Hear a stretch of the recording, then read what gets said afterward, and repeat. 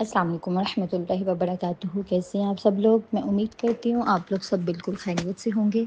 जी students आज की इस वीडियो में हम लोग अपने ये जो सब्जेक्ट्स है, इसके मिड टर्म की प्रिपरेशन करेंगे। ये एक ऐसा सॉफ्टवेयर है जो हमने बाय किया है आप स्टूडेंट्स के लिए। यानी इसमें क्या होता है, इसमें जो हमारे सारे पास पेपर्स होते हैं करंट क्विजेज होते हैं, या जो भी एम होंगे, हम लोग अभी इस वीडियो में लाइव सॉल्व करेंगे, ठीक है? साथ साथ आप लोग देखिएगा, जैसे ही आप लोग जिस ऑप्शन पर टिक करोगे, अगर तो वो ग्रीन हो जाता है तो आपका वो ट्रू है, अगर रेड आ जाता है तो वो फॉल्स होगा।